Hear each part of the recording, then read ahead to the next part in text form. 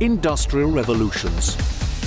Brought to you by Dassault Systèmes, the 3D Experience Company.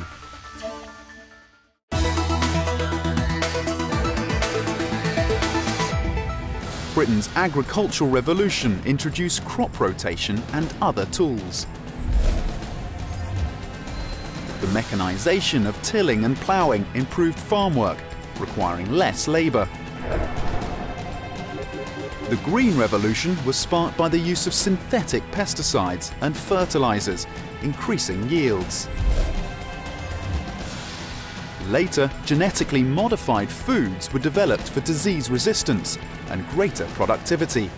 With a rapidly increasing population, food security remains a hot topic.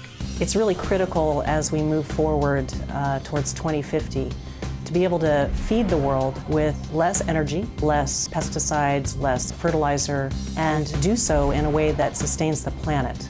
Biotechnology and genetically modified seed technology is one particular way to address a need for greater yields. If we can get more agricultural output per unit of input increased globally to keep up with the demand for food, we're going to be on the right track.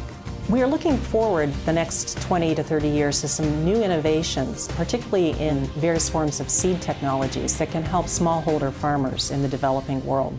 Another approach is holistic management, a process where livestock are bunched and periodically moved to mimic grazing herds.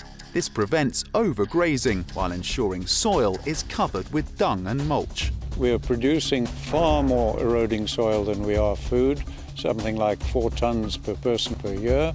If we can start getting a much higher percentage of the soil covered throughout the year, then the rainfall starts becoming fully effective. And of course, the grasses, shrubs, trees, wildlife, livestock, everything starts becoming more productive.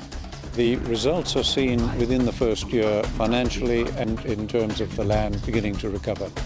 Reversing desertification under greatly increased numbers of animals is going to offer more hope than anything I can imagine for feeding people in the future. Industrial Revolutions.